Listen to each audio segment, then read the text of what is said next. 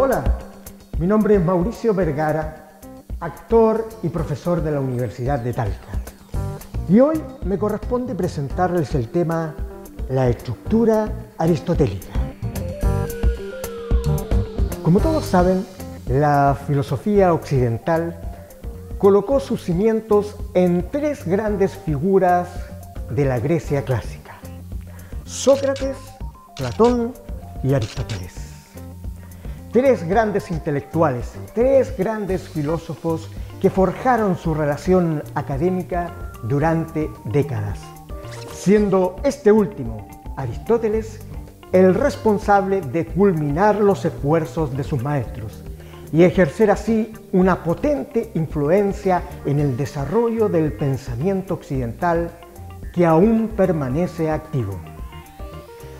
Aristóteles nació en el año 384 a.C., aproximadamente hace 2400 años, en una pequeña localidad de Macedonia. A los 17 años se va a la ciudad de Atenas. Entre las muchas preguntas que se plantea Aristóteles dentro de sus propuestas filosóficas, hay dos de significativa importancia para nosotros. La primera es, ¿por qué hay historias que perduran en el tiempo y otras no? Y la segunda, ¿por qué las personas se sienten atraídas por estos personajes? Aristóteles encontró la respuesta en un trabajo de investigación, analizando las mejores historias de su tiempo y por qué éstas perduraban en el tiempo. Como resultado de esa investigación de campo, encontró que las buenas historias tienen tres elementos en común. Primero, la existencia de un protagonista en búsqueda de objetivos. Segundo, que el protagonista hace cosas para llegar a esos objetivos. Y tercero, la existencia de un conflicto. El conflicto es lo más importante de la historia. Según Aristóteles, toda buena historia se divide en tres partes. La primera parte es la situación inicial o presentación. Aquí se presentan los personajes y sus objetivos, en un lugar y en un tiempo donde sucede la historia. Aquí generalmente aparece el detonante, que es el obstáculo inicial que pretende romper con el statu quo, es decir, con el orden establecido. La segunda parte es el conflicto. El conflicto es lo que se genera cuando los personajes deben enfrentar o ser capaces de resolver los distintos obstáculos que se les presentan en el camino para llegar a sus objetivos.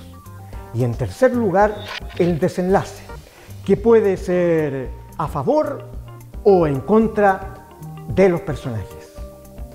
Si quisiéramos representar porcentualmente la estructura aristotélica, esto se traduce en lo siguiente.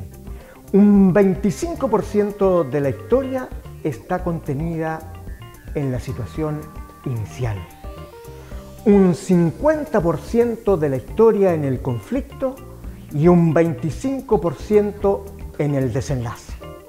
Esta estructura ha permanecido en la cultura occidental por siglos. Pero en el año 1600 aproximadamente, el dramaturgo inglés William Shakespeare propone una estructura en cinco actos. Primero, presentación. Segundo, desarrollo del conflicto. Tercero, clímax. Cuarto, baja en la tensión en el momento crucial. Y quinto, el desenlace. Esta estructura de cinco partes fue retomada y profundizada por el novelista y dramaturgo alemán Gustav Freytag en el año 1800 aproximadamente.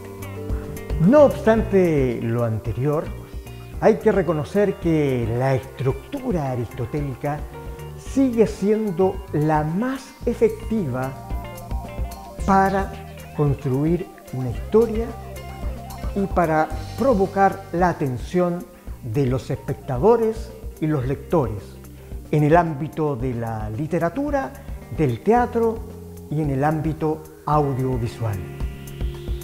En síntesis, si quisiéramos resumir esta teoría en una frase, esta sería la siguiente. Alguien quiere algo con intensidad y encuentra obstáculos para conseguirlo. Estimados alumnos y alumnas de la Universidad de Talca, espero que este material sea de significativa importancia para el desarrollo de sus trabajos. Que tengan un excelente día. Nos vemos.